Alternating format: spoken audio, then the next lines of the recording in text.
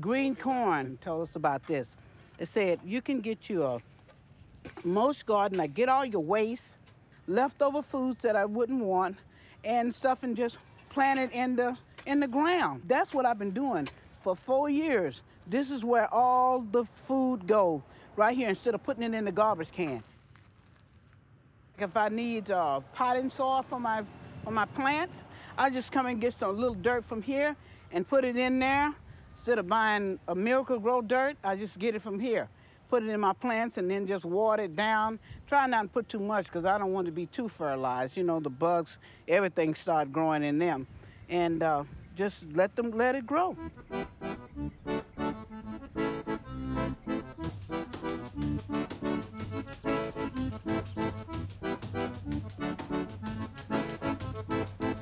We basically have about 300 square feet that we're growing in, and we can produce about 80% of all the vegetables that we consume in a year.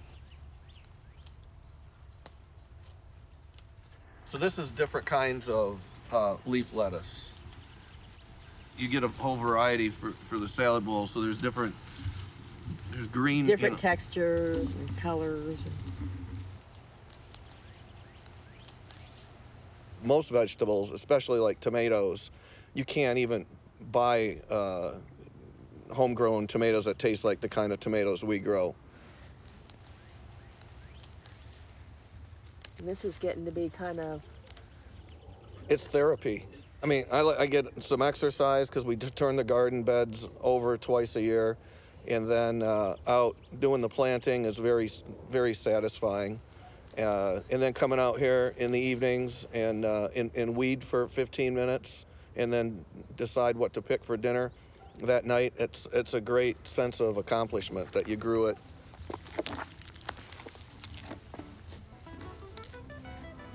Yep, that's a healthy one. all right. We got some kale, we got some onions, we got lettuce, we got spinach, got some really lovely arugula in here. In Austin, all winter long, you can put a pot out on your back porch and plant some lettuce in it, and you can have fresh lettuce every day.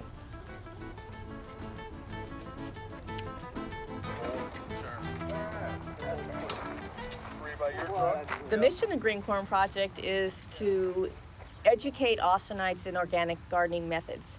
And the way we do that is we go out and we install gardens for individuals or organizations that just don't have access to good organic vegetables.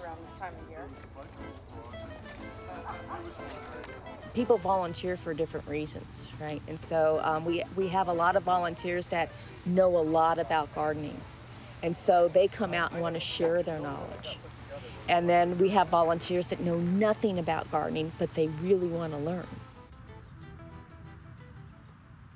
Ah, bueno, nosotros tenemos viviendo aquí ah, cuatro años ya en, esta, en este hogar y ahora tuvimos la oportunidad de recibir un nuevo jardín. we break up into work groups of maybe six to ten people per dig-in, and so the, the group size is small enough for a lot of interaction.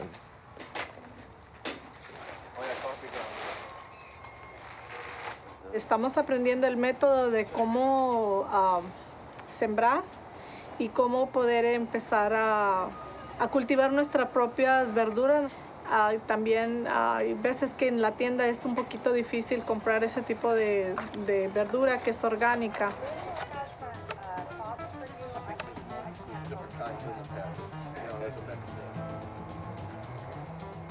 No conocemos a nadie que tenga un jardín así como este que nos han proporcionado.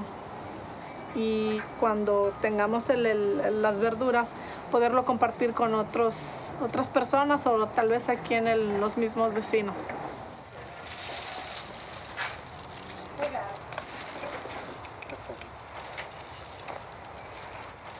We want the gardeners to be involved. We want to go in and install a garden for people that want gardens and they want to be involved in the process and they want to learn about it. Since I'm from Louisiana, I grew up on the farm. I like gardening, and uh, I've been having a garden for four years. This year I decided just to plant a small one to see how it would work out. And it's working out great. Just enough uh, parsley and collard greens. This right here lasts me all through the fall.